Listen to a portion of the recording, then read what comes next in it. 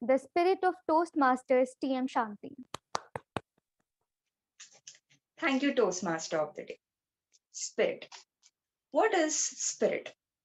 According to Google, it is the prevailing or typical quality, mood, or attitude of a person, group, or a period of time.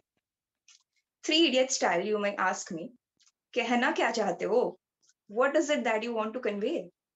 Well, personally, I believe that spirit is nothing but energy.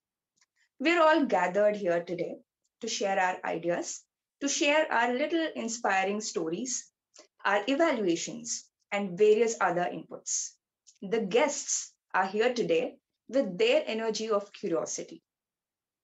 Where do we get all this energy from?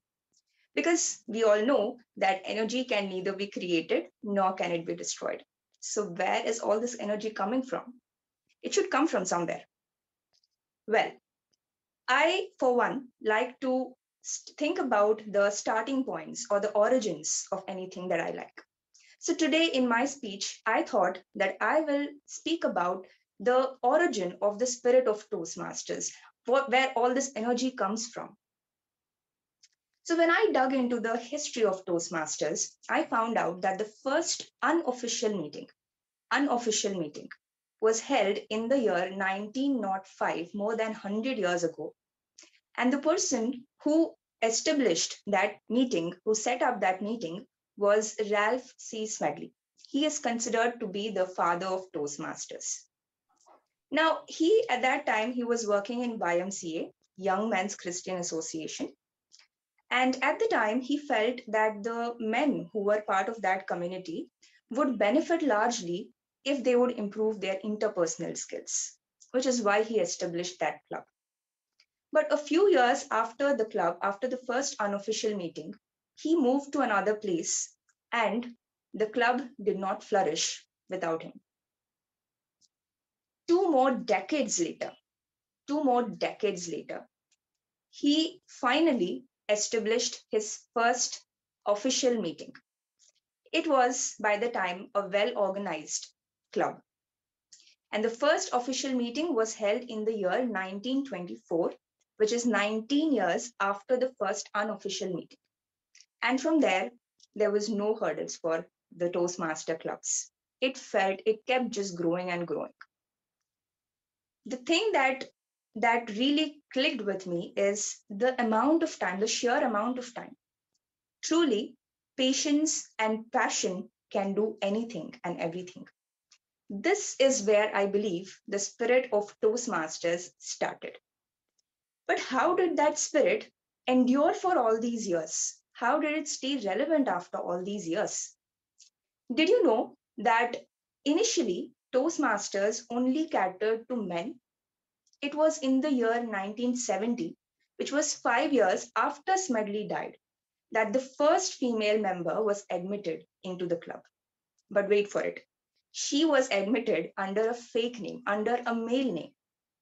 It was Helen Blanchard, and she was admitted under, under the name Homer Blanchard. Eventually, the club gave way, and three years after she joined, it started accepting women officially and she could go back to her original name, Helen Blanchard. This Helen Blanchard went on to become the first female international president. So from here, we see that Toastmaster was adaptable. It chose to change with the changing times. It chose to stay relevant rather than just die out by choosing to be rigid.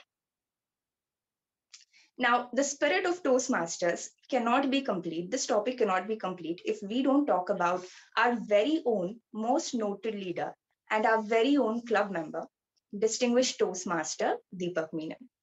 For those of you who are not aware of him, for the guests especially, he served as the international president in the year 2019 to 20. When I was researching for this speech, I literally binge watched all of his videos and interviews on YouTube. You can even find an article on him in the Toastmasters official website. A fellow Toastmaster tells me that even when he was serving as the international president living in United States at the time, he would still find time to help his home club, CDTM. And it is always humbling to see him, even now, attend the meetings and give his valuable feedback to all of us. He comes with a lot of energy. At the time that he joined, he joined in 2002. And at the time, he joined the Toastmasters Club of New Delhi. It was the only club in Delhi and one of the six clubs in entire India. And it was under his leadership that the number of clubs has thrived in the entire India, and not just in India, in the neighboring countries as well, in Sri Lanka, in Nepal. It is really honorable to be in the presence of such a great leader, such an adroit leader. Even now, this spirit is continued by a lot of our, our foreign club, club members seniors as well as people who have joined in the recent years and the recent months. I believe that the spirit of Toastmasters is going to continue like this because once a Toastmaster, always a Toastmaster. That is the spirit of Toastmasters. Thank you. Back to the Toastmaster of the day.